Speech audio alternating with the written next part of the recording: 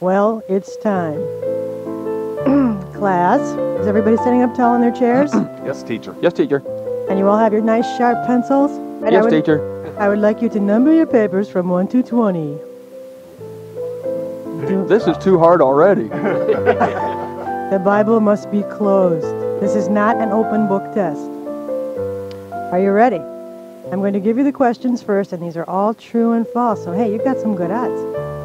Are you ready? Question number one God is controlling everything. True or false, right? This is true or false, yeah. True or false? Number two Jesus has paid for only the sins of believers. True or false? Smoking all over Cleveland. Okay, now number three. Your belief in Jesus Christ came as a result of your personal decision to believe. True or false? True or false? Number five. The more you sin, the more grace covers you. True or false?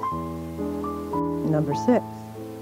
Forgiveness and justification are the same thing. True or false? Number seven. God's will is stronger than man's will. Number 13. Jesus Christ rules and reigns forever. True or false? Number Cam, Cam, quit peeking at curves. Number 16. Evil was created by God. Is that true or false? You're not going to look at my paper. Number 20. Jesus Christ undoes the whole work of Adam. True or false? Hmm. Hmm. Hmm. True Oh, or false? I got to resharpen my pencil. Oh, I guess I don't. The test is over. Oh, is the, The test test is over? That's it. I was mesmerized there for a moment. All right. All right, now. Now what do we do? We're going to process the answers. You're listening to AM 1000 WCCD Radio, programming for the soul of the city. It's time now for Summer Nights, right here on WCCD. For the next two hours, we will take you inside of the heart of ministries and churches that are making an impact on the city of Cleveland. And now, with this week's featured ministry, here is the host of Summer Nights, right here on AM 1000, Ricardo Johnson. Thank you, Eric, and welcome to Summer Nights here on this Thursday evening, the soul of the city you're listening to. Glad to have you listening in, and uh, we have a good one going tonight. So, right now, let's go to Kurt for Grace Cafe. My name is Kurt Downing, and I invite you to get your coffee, of course, your Diet Coke, your Bibles, concordances, and one more thing tonight uh, a number two pencil. Later on in the broadcast, you'll be challenged to do something we'll put you onto a little bit later. Number two, lead pencil. Right. Until then, enjoy with us a teaching from God's Word and some contemporary Christian music. Are you ready for a revelation of God's grace?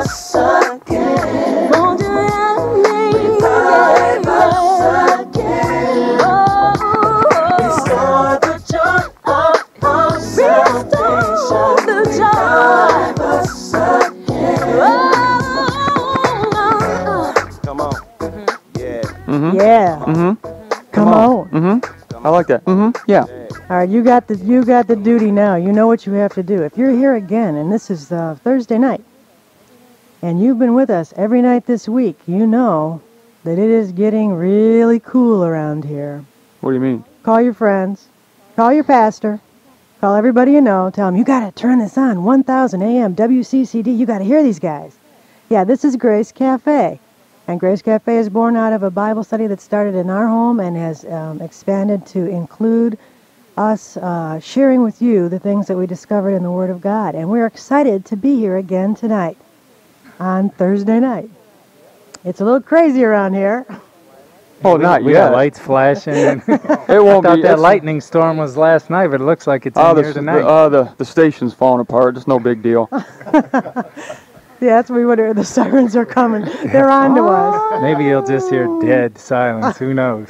We're here though. Well, we are back. We again. think we're on the air. Maybe we're not. Are, are, are we on the air, Ricardo? Or Yeah, you guys are on the air. hey, cool, man. It, it was one of our many stations that we were having technical difficulties with. Oh, I've heard that one before. Technical. Everybody's having technical difficulties. yeah, yeah. Yeah, there, there's a lot of stations Sometimes in I wonder place. about you, but Yeah, well, it's a chronic thing.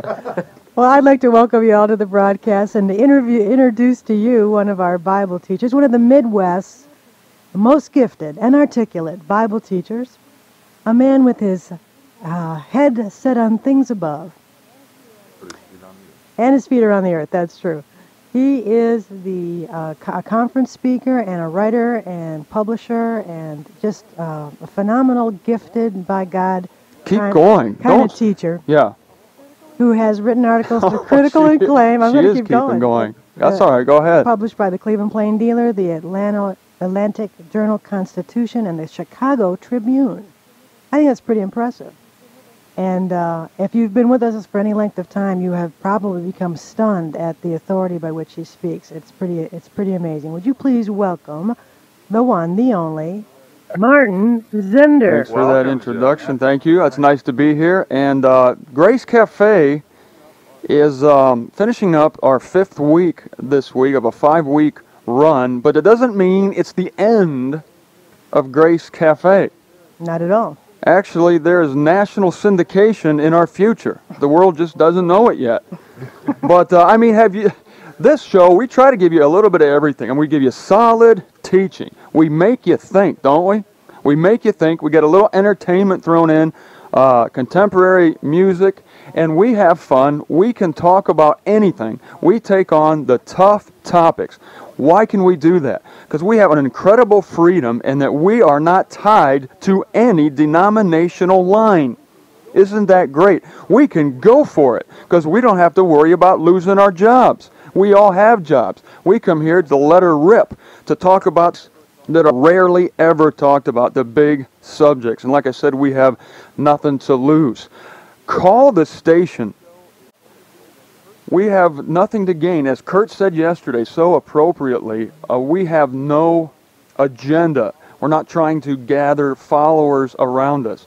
In fact, we have everything to lose if you come to our uh, informal Bible studies because we're not getting get as much pizza. I mean, the pizza's going to go not go as far. The cookies aren't going to go as far. The coffee's going to run dry. The more people we have, so we have nothing to gain, everything to lose. But we want to talk. We sit around and gab about the Bible just like we do here at uh, Grace Cafe on the air.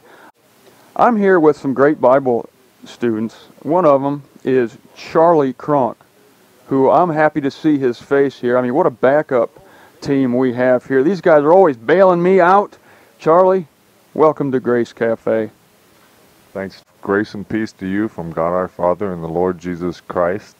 Uh, yeah, in one respect, we have everything to lose, but yet, in another respect, which is so much higher, as you join with us in praise and honor and giving glory to God, recognizing Him as God, we have much to gain from that.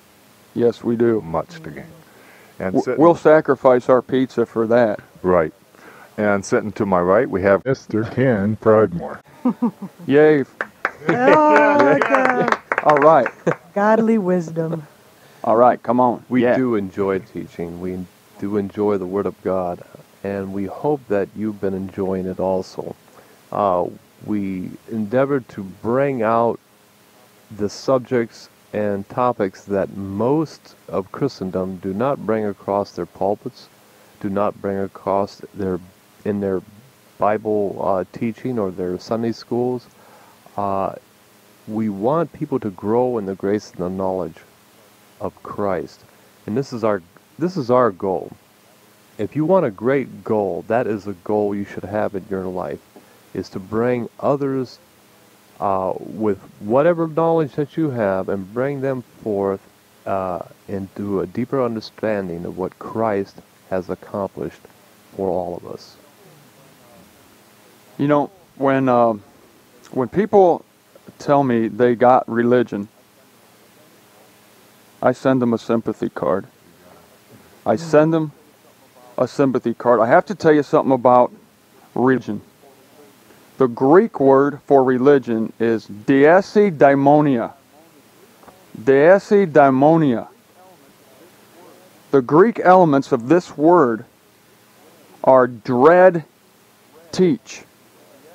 Dread, teach. Deisi means dread. Daimonia is teach. It is also the root word of the word demon. Religion is a bad thing.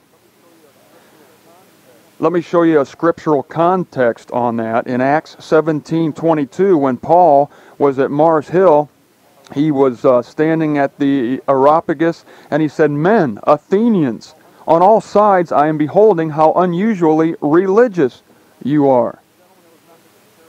Ladies and gentlemen, that was not necessarily a compliment. They had statues, objects of worship, idols of stone that they venerated. A pedestal was even there on which had been inscribed to an unknowable God. To whom then you are ignorantly devout, Paul says, this one I am announcing to you. Dread, ignorance, fear of an unknown God. These are all the marks of religion. Religion teaches men to dread what God might do to them unless they fulfill certain requirements. Religion is man striving to please God. That is the essence of all religion. Religion says, Look what I can do. Religion has man saying, Look what I can do. This is, a, is in opposition to the truth, which has God saying, Look what I can do. Religion is man on his side, standing on his head for God. And there's a dread there because if you don't stand on your head just right, you'll be slam dunked on your head. You'll be damned. It's fear, it's dread. The truth is that God, in essence, is standing on his head for man. He is presenting man, Christ crucified. It's even called his approach present in Ephesians uh, 2. Christ is the approach present. It's God's gift to humanity. God is saying in Christ, look what I can do. This is the end. Christ is the end of all religion. It's the end of all dread. It's the end of all men hoping to accomplish something in fear of what might happen to them if they don't. Regardless of how it likes to think of itself, modern Christianity is another religion. And I'm going to tell you why, in what aspect I mean that. I'm very serious, and this is a very serious topic we're getting into tonight. But it has a diabolical twist to it. Why do I say it's another religion? Because Christianity pays salvation.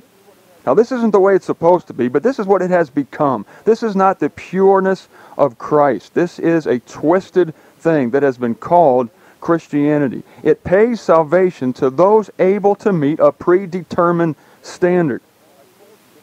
Hang with me. I told you that this is the essence of all religion. The essence of all religion is man meeting a standard in order to please God in a realm of dread. Where other religions demand human sacrifices, some religions demand uh, monotonous prayers or going on a, uh, a pilgrimage. The Christian religion demands something. Yes, it does. It demands one basic thing wisdom. You must be wise enough to choose Christ, or you will not be saved. You will be damned. Some religions have a long list of things to do. The Christian religion has a short list, but it's still something you must do or be damned. You must exercise your wisdom to choose Christ. Why do I say that the Christian religion is worse than the others? Because it is the most deceptive of all. How? Because unlike other religions, Christianity boasts the name of Christ, the only name under heaven by which men are saved. This gives it a legitimacy. I mean, hey, these guys are talking about Christ. So it lends it a legitimacy that the other religions lack. Buddhism, Hinduism, they, they lack the legitimacy of the name of Christ. But Christ is wrongly presented. Rather than presenting Christ for what he is, which is a Savior, an actual Savior, the Christian religion presents him as a potential Savior. This is very subtle. Please pause and think about this. This is the subtle and really the satanic twist of the Christian religion. Changing Jesus Christ. Now you really got to watch the hands here. The magician moves his hands very quickly. You have to slow down the film and watch where the hands are going. They are changing Jesus Christ from one who actually saves, apart from, and in spite of man, to one whose cross is but the weaker side of an incomplete equation that requires man's cooperation. According to the major, the major tenet of the Christian religion, I know it's going to deny this, but it's nonetheless true. Whether it denies it or not doesn't matter. This is nonetheless true. Christ did not save anyone at the cross. I know that sounds stunning. Please follow it through with me. According to the Christian religion, you know this, I think you will verify this with me. Christ only paved the way to salvation. His work, rather than being a completed work to which nothing needed to be added, nothing, nothing. No, the way it's presented is now it only made it possible. His death made it possible for man to save himself. Because man now had to make, had to make, had to make, or else be lost, a wise decision to, quote, accept Christ. And what does this do? Think about it, please. This leaves the final responsibility for salvation not on Christ, but on man. And this is the most beloved heresy of Satan. This is the essence of all religion responsibility for salvation left to man rather than to God. Now I know they say they say it's all of God, it's all of God. But that's hypocrisy because it's not all of God if I have to do something before it can be true. We've told you here that Jesus Christ died and my belief is a reaction to what he did. It's a reaction of my already being saved at the cross. It's not the cause of my salvation, but that's the subtle deception. That's where you have to watch the hands. This marks religion, every religion. Religion takes attention from God's work and directs it to man's work. And Christianity does that. It's very subtle. But the beautiful thing about it, the beautiful thing to the adversary anyway, is that Satan has fastened to this Christ's name. He's fastened to this religion, and it is another religion, the name of Christ. That's why it's so deceptive. Because of this tactic, Satan has used Christianity to draw millions of good people who would otherwise be turned off by these other religions that have you doing things and making making making pilgrimages and uh, tearing your clothes and they he's he's taken them and turned them on to another religion that still has the same heresy of salvation by man. You see, it's the same heresy, but other people that people that wouldn't be drawn to these other more obviously wrong religions are drawn to this subtle deception. This deception is so sweet that those who are enslaved by it have no idea they're in bondage. They think they're free. And I know that they, they're going to deny they're, they're going to deny what I'm saying. That they will deny their ensnarement only proves this religion's potency. The Christian religion is a drug so powerful that the mind under its influence is altered. It can no longer detect truth. Not only this, but the truth passes near it, and the mind calls it error. Truth is called error. That's how, that's how terribly this deception has overtaken the minds of those ensnared by it. The powers of darkness want men ignorant of God. You have to agree with me there. How do they accomplish this? How do they keep men ignorant of God? How did they accomplish it most effectively? Not by obvious evils. This is the thing. We're looking for obvious evils. We think Satan is using these obvious evils to turn people from God, like, like diseases and famine. But these things drive men toward God. Here's how he does it, and it's so subtle. He occupies men in self centered exercise. That is religion. Religion is self centered exercise. How can I choose Christ? What can I do to be saved? And then he uses those enslaved by the religion to defame God's character before the rest of the world. Folks, the powers of darkness can do nothing to deny Calvary's victory. What is the victory? That through the cross, Colossians 1:20, God is going to reconcile the universe to himself. But these powers of darkness can do a lot to keep people from knowing about that victory. Examine the statement of faith at your church to confirm that statement. Denise is going to give you a little quiz. Get your number two lead pencils. We're going to be taking a quiz. I think you need number two pencils. And uh, we're going to find out just how far you've been taken from the truth. From what you said there, it sounds like religion has, or Christianity has taken its adherents and making them like the king in his new clothes. They think that they're dressed in in uh, what Christ has done, but if you look deeper, they find you find that it's man's work. It's what's underneath is man. That's what's behind it. And tonight, I believe, folks out there listening, that if you listen tonight, we're going to go into the scriptures and we're going to expose the nakedness of Christianity.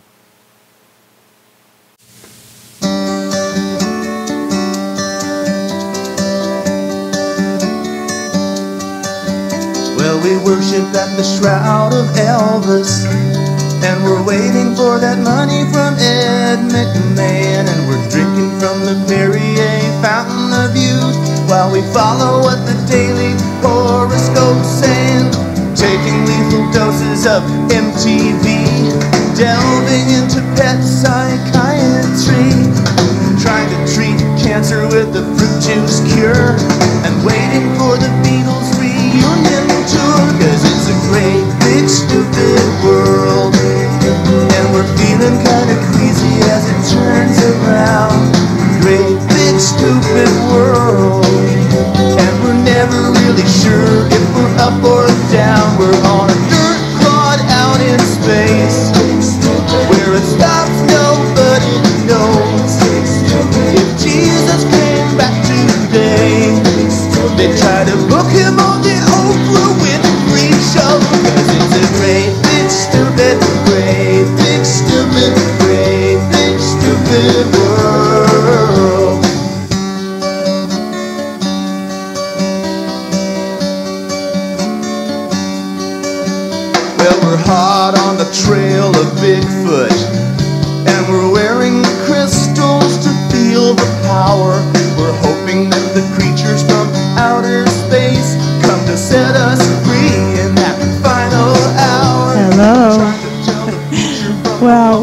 Well, we know that's a funny song, but I hope you caught those lyrics. If Jesus came back today, would he be rever- revered and honored? Would he be lifted up?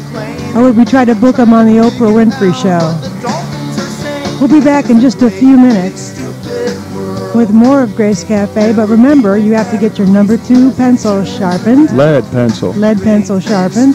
You need a notebook, and it's going to be a pop quiz. Spiral notebook. Pop quiz that uh, remember in school when you did this before we'll be back in just a couple of minutes and you'll we'll see exactly if whether or not you're following the traditions of men or whether or not you believe the scripture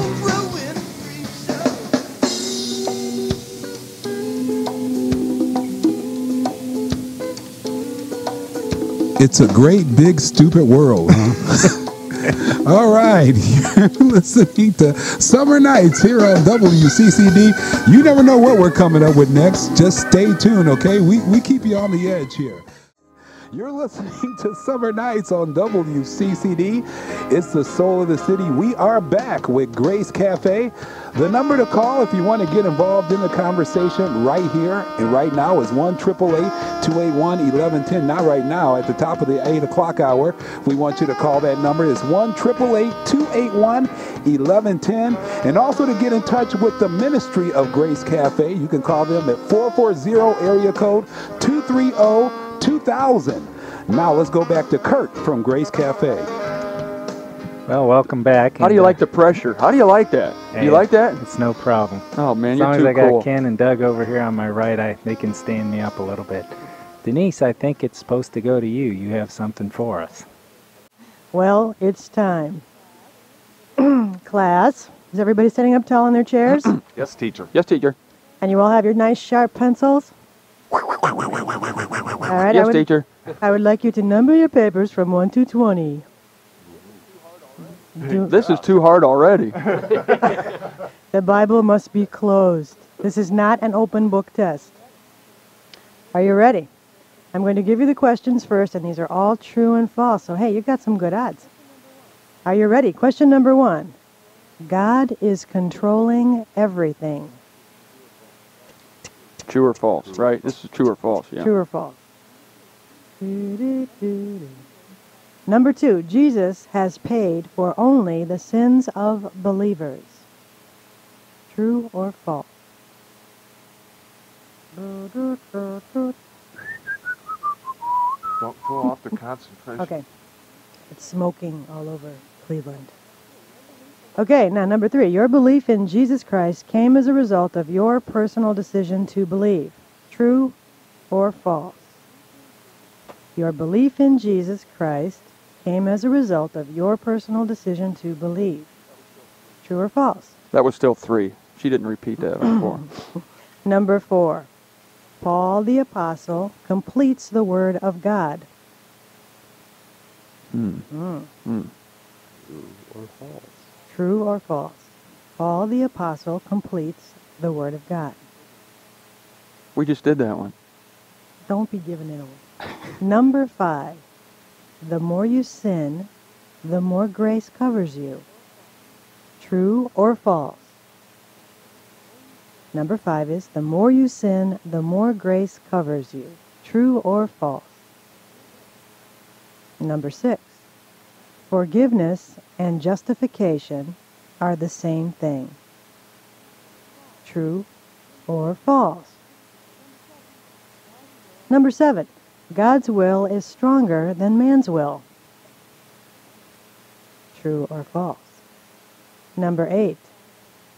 God the Father is responsible for crucifying Christ. Ooh. Ooh. Ooh, that's. True or false? I know what I'm putting down. Number nine. Jesus loses the majority of humanity to Satan.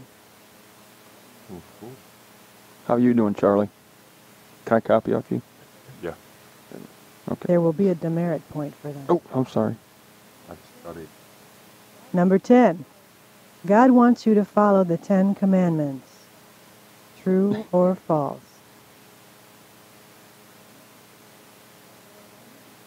Number 11. Jesus Christ was a successful Savior. True or false? Number 12. God is working to return all creation to Himself.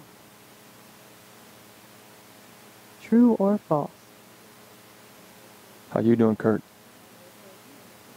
Number 13. Jesus Christ rules and reigns forever. True or false? Number, Ken, Ken, quit peeking at Kurt. number 14. God has chosen to reveal his truths to the foolish and unlearned according to man's wisdom. You may want to repeat I put that one in again. there. Yeah. I put that one in there for us. We're reading along with your you repeat but, uh, that? repeat it. God has chosen to reveal his truths to the foolish and unlearned. True or false? Number 15. God is conciliated to mankind and no longer holds our sins against us. Hmm. Number 16. Evil was created by God. Is that true or false? You're not going to look at my paper. Number 17. The earthly Jesus preached a message that was for all mankind. Number 17 again. The earthly Jesus preached a message that was for all mankind.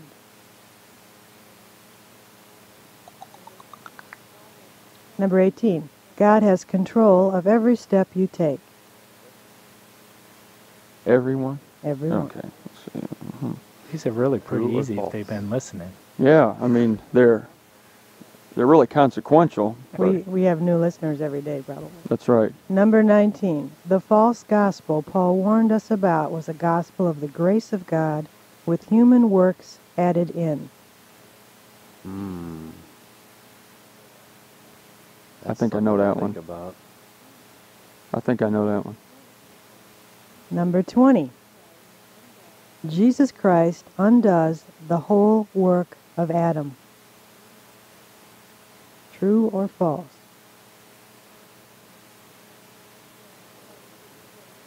Now you're probably pretty sweaty, so I did throw in a Gosh, bonus this is- question. Oh, bonus question. Good, Thank goodness. good. I Oh, get my we get extra goodness. credit, right? Before you read it, though, you have to. wa- This is a trick question. I think this Oh. last one. No, I Denise wouldn't so. do that. Oh, yeah, I would. I think okay, it's a sorry. trick You question. want to do it? All right, go ahead, teach. Eternity is a very long time. True Oh, or false? I got to resharpen my pencil. Oh, I guess I don't. The test is over. Oh, is the, The that's test is over? That's it. I was mesmerized there for a moment. All right. All right, now, now Huh? what do we do? We're going to process the answers. I need new eraser. Oh. What if I went outside the boxes with my pencil?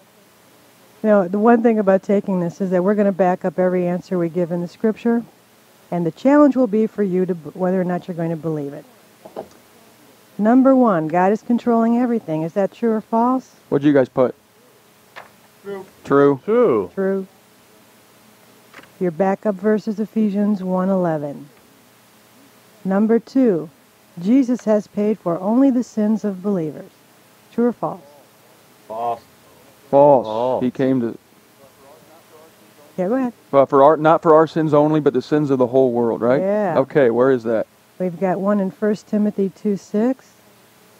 We've got 1 John 2 2. We've got 2 Corinthians 5 18.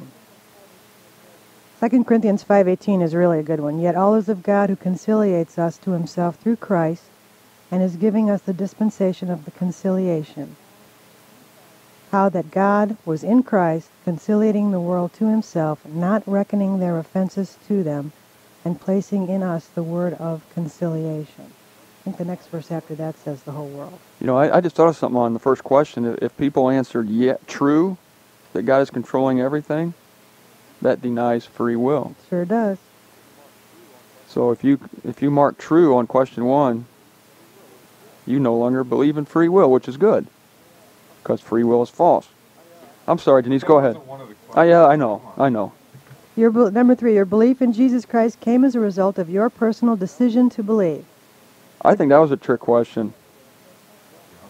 Okay, explain your answer. Yeah. well, what did you guys put on night's that? Yeah, what did you guys put on that? I put true. I would say true also because we about- do make we do a make a personal decision, choice, right. Uh, you know, but Yeah. is it from a free will? Yeah, see, and Where does Hey. the rain come from? And if Yeah, you that's answer right. true on the first one, then you don't believe in. I mean, then you believe in free. Uh, don't believe in free will, so then you can answer correctly. Right, your belief in Jesus Christ is a result of God's gift to you. God you gave me. Yeah, I made a decision, a but it was caused from outside Right. outside force, so it wasn't free. Uh, We should probably, uh, if anybody didn't hear the the teaching on free will, we have the tapes available Here I am using your test for a promotion. I'm sorry, wasn't that cheap? Shameless. I know, shameless. Go ahead, next. Number four, Paul the Apostle completes the Word of God. Bet you didn't know that. That's true. I, yeah, I got true on that. And that's uh, Colossians 1.25. Right. Most people think Revelations is the end of the story. Well, it's, it's the end of the Bible, but Yeah, it's the only end of the Bible. There's a greater revelation in Paul. Number five, the more you sin, the more grace covers you. True. True. True. Romans It, it covers you exceedingly. through the roof, as we say around here. That's Romans 5:20. Romans 5.20 says through the roof. Yeah, it says through the You roof. have the Living Bible? I have, I have the. It's in Second Opinions. I told you that. Oh, yeah, Second Opinions, chapter 1. Okay. Do we want to read that one or? Go ahead, read it.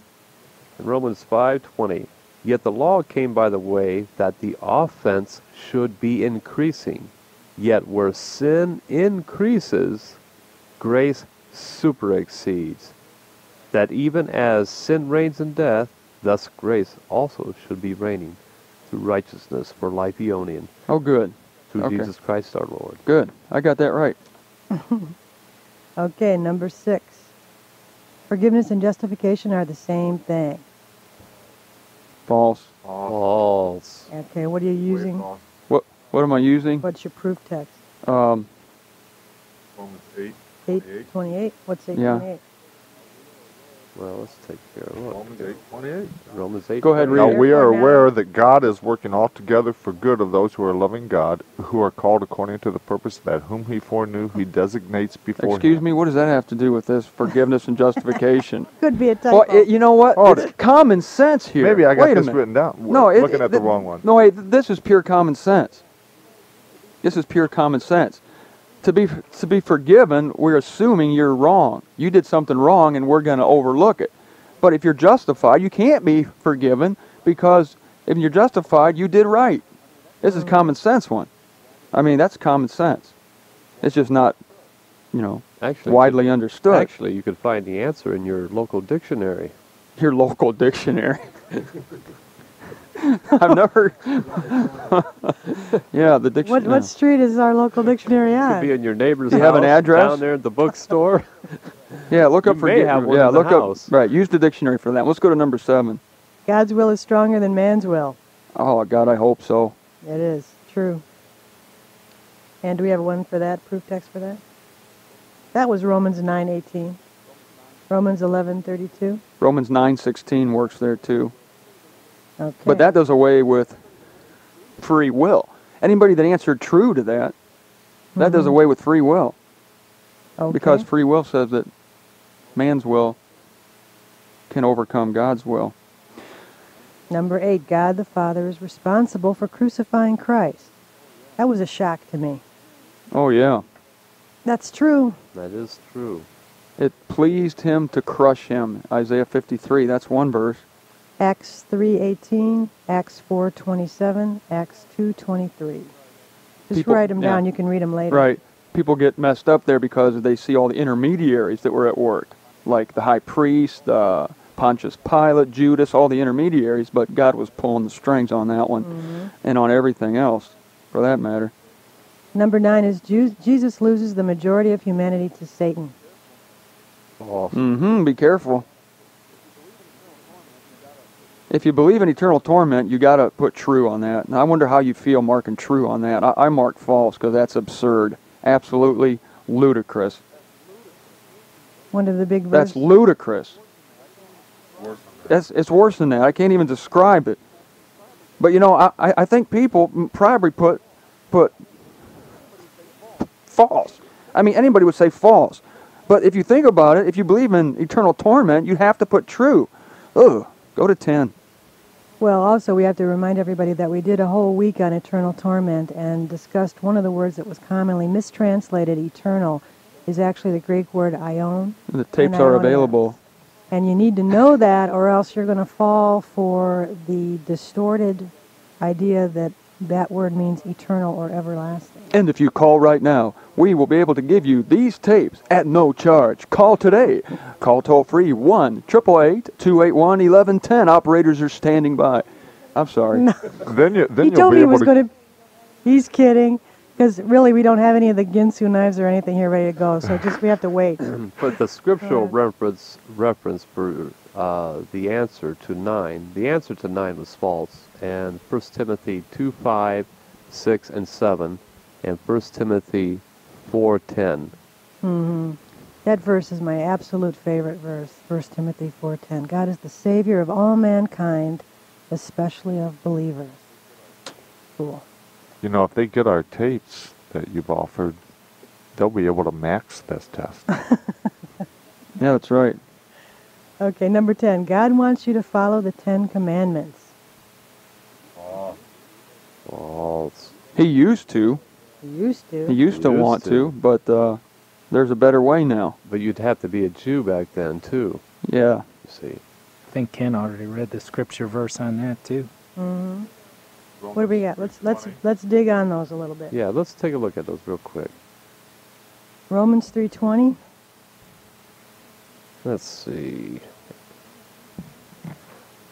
Romans 3:20 says by works of law no flesh at all shall be justified in his sight for through law is the recognition of sin. That's your startup.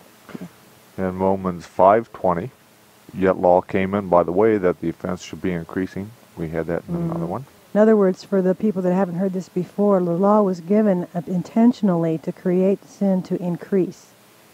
So following the Ten Commandments, the way our flesh operates, makes us covet and sin all the more. And that was intentional because God wanted to show that flesh could not please God and that we definitely needed a Savior. So the answer is true then, right? And if you'd like the four tapes describing this teaching, you can call one triple. No, it's here. We do have four tapes on that on the Ten Commandments that we did a couple weeks ago. Let's go to number eleven. Jesus Christ was a successful Savior. I think it is finished is one of those verses that tells you that that's true. But again, if you believe in eternal torment, you can't mark true there. If you believe in eternal torment, scratch off true and put false. Jesus Christ was a successful Savior. False. If you believe in eternal torment. 2 Corinthians 5:18 and 19 is your proof text there, John 19:30. Okay, 12. God is working to return all creation to himself. Never saw that verse before either. That is true. That's Colossians 1:20, Romans 11:36. Okay, number 13. Jesus Christ rules and reigns forever. What'd you guys put down? I put false. Oh, that's a trick question to that's a trick question to a lot of people Explain yourself. because of the word eternity. That's where the big problem comes from. Well, if, if he reigns forever, then uh, there's always going to be in subjection in the universe. The universe will never be completed if there's people that constantly need being reigned over. You better give the proof text on that. It's First uh, Corinthians. 1 Corinthians 15:25. Christ must reign until he has put all enemies under his feet. See, he doesn't reign forever. Until, Until. right. He reigns so well that he uh, eliminates the need for reign. And again, that word eternal that's often put for that, the Christ will reign forever and ever. It's for the eons of the eons. It's uh, we talked about that on during Eternal Torment Week. Those tapes are also available. Yeah, I hope these people that have been uh, following along with us uh, throughout the, the five weeks here are starting to recognize these uh, things c- crawling back on all the detail, meticulous detail that uh, we went over trying to really hammer these points home. Mm-hmm. Okay, number 14. God has chosen to reveal His truths to the foolish and unlearned. yeah, that's true. That's, Well, Charlie, Kurt, and Ken are proof of that. 1 Corinthians 1, 27, 28, 29, and there's a bunch of other places too. God gets a big kick out of making people that don't have theological degrees know what's going on. I don't yeah, know. right. Pretty cool. That's pretty cool. 15. God is conciliated to mankind and no longer holds our sins against us. That is true. That is phenomenal too. that is phenomenal. Because Right. the first thing you hear is that you're supposed to realize what a terrible, rotten person you are. You're before God can be nice to you. You have to acknowledge you're a, a sinner. And we are sinners, but mm-hmm. something's been done. Something huge. Something huge has been done with the sin question. Namely, Christ took the sins upon himself, the sins of the world, and now God looks at us through Jesus Christ. It's a funny And we're thing. still begging God to be nice to us. You know, we're Just as begging God, we're still in fear of God. As a reminder, that conciliation is half of the word reconciliation, meaning that God did it by himself. We didn't have to be active participants. He did it, and he's at peace with man because of it. I wasn't even born when he did it. Right. That was a long time before I was born. What's that, Second Corinthians 5? 518. 518. Okay. Same big verse. Number 16. Evil was created by God. That is true. True. Isaiah 45, 7. That's Num- easy. Number 17. The earthly Jesus preached a message that was for all mankind. In his earthly ministry, Jesus' message was False. that for all mankind? no, That's false. that is false. That was not for all mankind. Matthew 15, 24.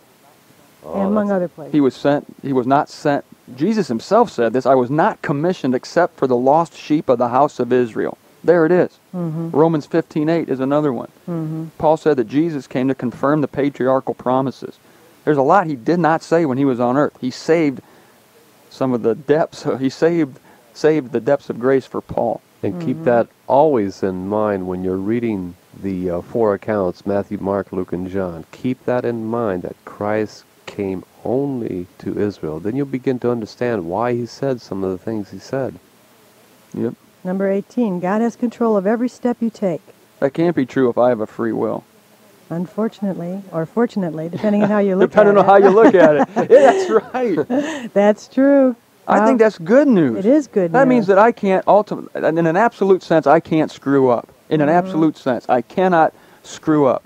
Right. Even your so-called screw-ups are things that God is using. Yeah, he's good. using it. Right. You he's can't productively using. you can't get yourself so lost that you can't be found and saved. Right.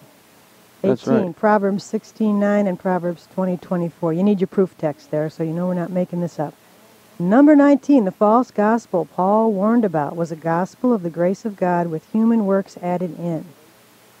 Oh, True. Let's that read that true. one. True. Go ahead. Ken, the you got that? Galatians, the Galatians, yeah, probably eight. in Galatians, right? Yeah, I think Galatians it's 2, Galatians 8. 2, 8. Right. Keep going. That doesn't talk about No, that doesn't talk about it. Oh, That was the lead in. that was That the was a lead-in. Okay. That was a drum roll. Let's just start that one more time again. I have been in. Well, better yet, let's go to the proper verse. Right. Hey, now there's a concept. that is Galatians 2, 8. Yeah. Well, Stretch the time here. answer to that 19, that question 19, is true, and we have a proof text of Galatians 2. I think 8. Galatians 1 verse 7 is, is, is, is what we need, that some who are disturbing you want to distort the evangel of Christ. Mm. They want to distort it. And the way they did that was um, telling the Galatians that they needed to add things. And Paul brings that out in Galatians chapter 3, uh, verse 1. He calls them foolish because someone was bewitching them that they uh, would add works of law to the hearing of faith. He called them foolish for even listening to anybody who would try to introduce works of law. How would, how would you describe works of law? What would you say that is? Oh, trying to please God. Well, he was there. I think he was talking about the Mosaic law, but uh, any kind of thing we have to do to earn God's favor is a law in itself. Whether it's baptism or repentance, if it becomes a, a ticket to ride, then it's a law. Right. Okay. uh, number 20, Jesus Christ undoes the whole work of Adam. You know what the huge word there is? Whole. Mm-hmm. The whole work of Adam. I put true. I put true. And uh, if he does, that uh, disproves eternal torment. Because eternal torment says that he's not going to bring back everybody Adam condemned. Well, a lot of people have read that verse that he reconciles man, uh, Christ the first fruits, and then those that are Christ that is coming, and then comes the consummation. That's 1 Corinthians 15, 22. And they don't realize that there's a third group in there. Then right, then cometh the the consummation when he abolishes death. But uh, a good proof, the proof passages there are Romans chapter five, verses eighteen and nineteen. That through Adam the whole race was condemned and locked up in sin, And through Christ, the whole race is justified and delivered from sin. It's very simple. It's a perfect parallel in uh, Romans 5, 18 and 19. The backup verse is 1 Corinthians 15, 22, 21 and 22. Okay, now. I got that one right. That's Mhm. good. Did you guys get that all right?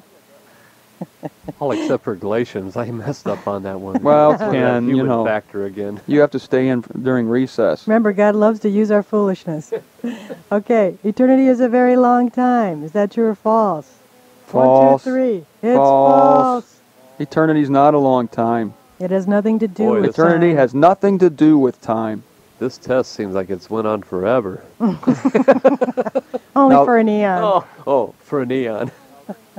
If you want to talk, if you want to learn about time and eternity, we did that in Eternal Torment Week.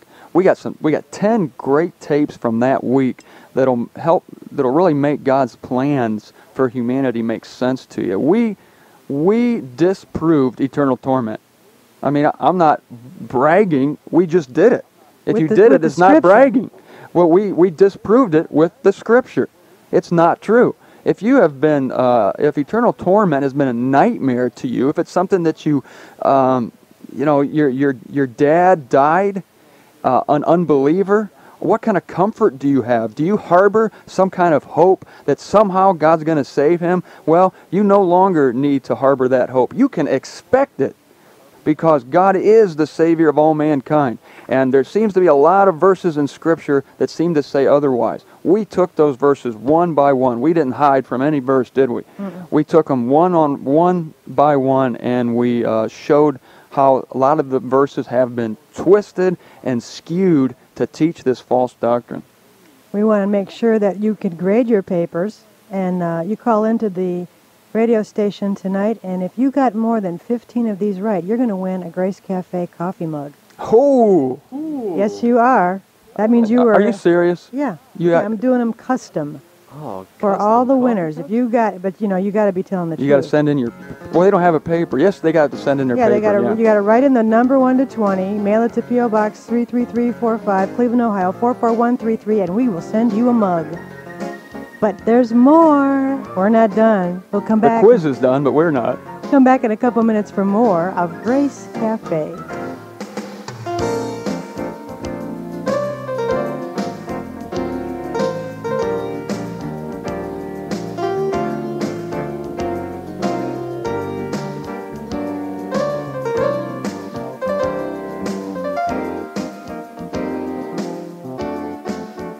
Listening to Summer Nights on WCCD. The Now, keep in mind that this is the relative perspective. We're seeing things, we're seeing action on a stage. We're not looking in tho- these passages, uh, we're not looking at the cause of things, like why some people are responding and why some people aren't.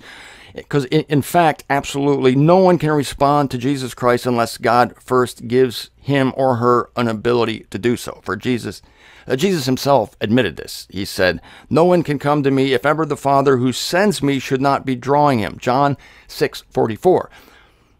So nobody can come, you see, unless God draws them. But on the stage, forget the absolute viewpoint for now. Forget why some people are answering the call, why others aren't. On the stage, this gospel of the circumcision is presented as a challenge, as an imitation, as an if then proposition.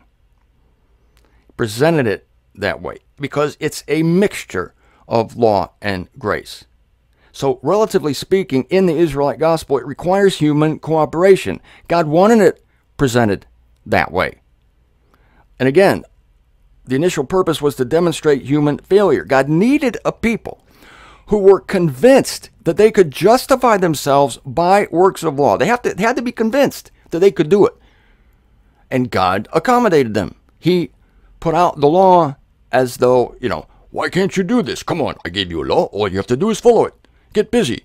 In the meantime, it's wink, wink. God's like, hmm, well, he knows how that story's going to end, but it, it, he has to do it this way. He's not playing games. This is the wisdom of God to make a demonstration. So that he could later point to these people, utter failures, by the way, and say, See, by works of law, no flesh at all shall be justified. I mentioned that verse several times. It's Romans 3 20. And remi- I remind you again Israel was a gigantic demonstration of the failure of flesh. And again, Christianity hasn't gotten that memo. And they ignorantly, as well as anachronistically, they still attempt to follow law. So the question arises now Does God cast Israel away now that she has fulfilled her mission as a bad example? How would you like to be that to be your mission? What's your mission in life? I'm a bad example. Okay, like, what do you mean? I'm an example of the inability of flesh to do the precepts of God. Uh, is your life miserable? Yeah, pretty much. Why do you persist? Because I'm an Israel, because I'm an Israelite, and this is what I do. I persist in my ignorance. All right, God does not cast away Israel. He is merciful, true to Himself, true to His promises. He will fulfill the promises He made to Israel. He will give her a new heart. In the meantime, in the meantime, in the gospel of the uncircumcision, gospel given to Paul, believers are chosen first, then called. I'm not making that up. Sounds like I am. I don't make things up. That's Romans 8:30. Here's the verse. Now whom he designates beforehand, and we know when that happens, right? Before the disruption of the world. Whom he designates beforehand, these he calls also. And whom he calls, these he justifies. Whom he justifies, these he glorifies also. So, having temporarily set Israel aside, if you want to know the details of that, read Romans chapter 11. It's all there in juicy detail. God was now ready to launch an evangel that was presented from the start as a message of total grace. And how much more grace can you get where you're designated beforehand, it's already done, and only the details remain. Nothing left but details after that. Once God has chosen you, designated you beforehand from before the disruption of the world, it's only the details now. And sometime in your life, you will be called. Paul's radical language here. Yeah, whom he designates beforehand, these he calls also. This is not an if then proposition. It's not something you accept in order for it to be true. This is something true that you accept. Wow, I think I uttered a profundity there. I think it deserves repetition. Paul's gospel, it's not something that you accept for it to be true. It's something true, already true, that you accept. I'd like to top myself on this show, but I don't think I'm gonna risk it because because that was pretty good.